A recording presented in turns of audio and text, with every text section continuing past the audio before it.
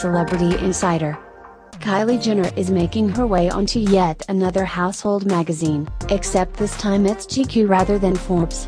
The reality star and the father of her child, Travis Scott, graced the latest issue, and in the cover story, they talked about their relatively under the radar relationship.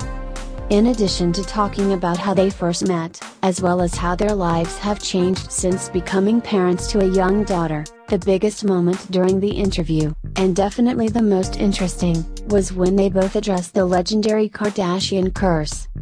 As you may know, people online like to point out that men who date the Kardashians or the Jenners suddenly have bad luck at some point. Because of this, fans call the subsequent bad luck, the Kardashian curse.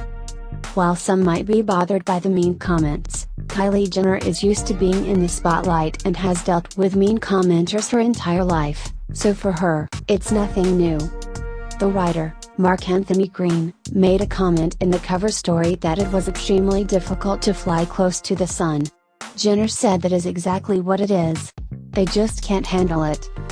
According to Kylie, Travis doesn't really like all of the attention and cruel remarks, but he has learned how to deal with it for the most part. The 20 year old makeup maven said that love each other, and they have a family. Kylie said that she knows for sure that Travis doesn't like all of that attention, so they either keep their relationship super private or if he has a concert or an event, she won't come. The reality star explained that she wants Travis to do his own thing, rather than have their relationship overshadow his individuality.